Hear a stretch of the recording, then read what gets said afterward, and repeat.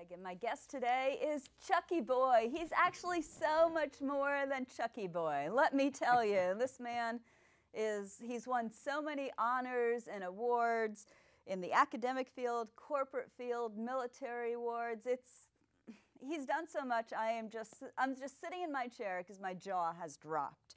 And today he's here to talk about Experience Works. Welcome, welcome, hey, Chuck. Great to be here. You're welcome, Chuck, and you're also a famous author working on your next book. But I don't what know is about famous, but uh, I'm uh, I'm in there fighting. you are in there fighting? And what is Experience Works? Okay, this this is interesting because now you hit a great nerve with me because I've been on an Experience Works board for about 18 years, and they're a nonprofit. Their corporate headquarters is right here at Ballston, so right here in Arlington. They provide uh, older workers who have low income throughout the country with jobs. They, they really help to um, get them out of their sort of level that they're at where they're not very happy and bring them out, get them back in the workforce so that they uh, get an increase in their self-esteem.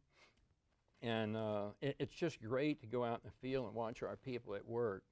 So Experience Works has been at this for about 45 years. That's a Uh, lot. they're number one in the country. They've got the infrastructure all set up in 30 states and Puerto Rico.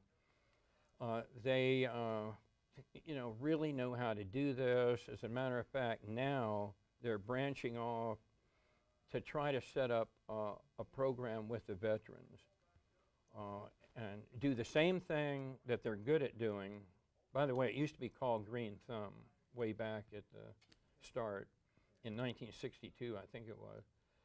Uh, but now uh, we realize that there's a lot of veterans homeless and that they, or they're about to be homeless, and we want to take them and bring them up. So give them a little bit of training, uh, get them a job, and uh, you know, try to take care of those people. Uh, right now there's a lot of programs, but none of them are customized like this. And so we're working to try to be a partner with Veterans Administration on it.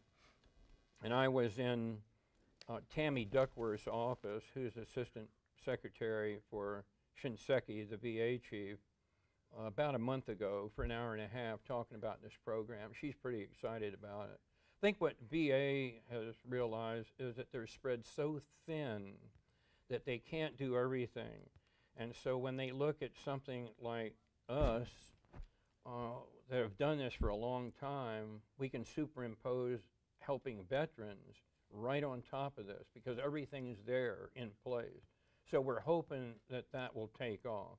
I know Tammy Duckworth because uh, you, you've probably known about her missing both legs, and uh, I knew her from the Wounded Warriors program at Walter Reed.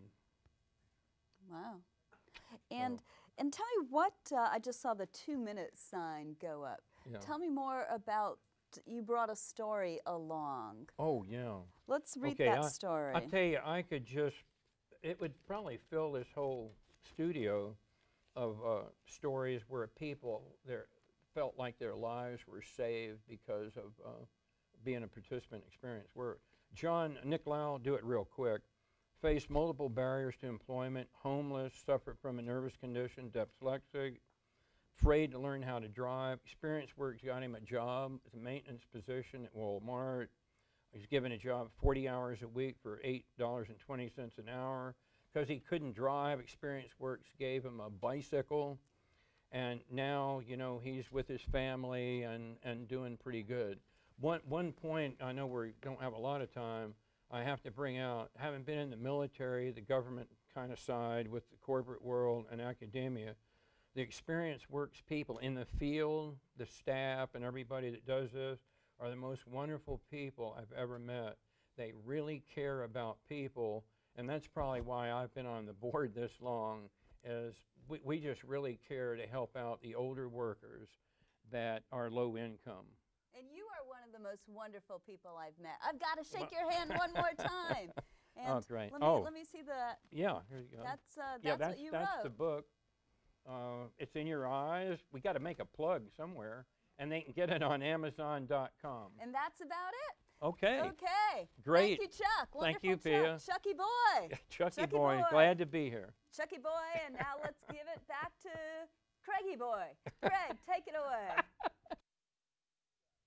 All right, thanks, Pia and Dr. Charles Toftoy, Chuck, and uh, little information there and some good information about uh, improving the quality of life for uh, older Americans. Something to, uh, some, a heads up. That's good. Okay, that's a wrap. Yes. We're done with this edition of the Arlington Weekly News. It went so fast. Anything to add? It went so fast. We're having so much fun. Anything to Well, add? Yes, just make sure you go to youtube.com slash Arlington Weekly News. That's all one word. Absolutely. Like it or not, there we are on YouTube. And uh, we'll be here next week. You be there, and we'll uh, do it all for you again for another edition of the Arlington Weekly News. Have a safe week. Bye bye. Bye bye.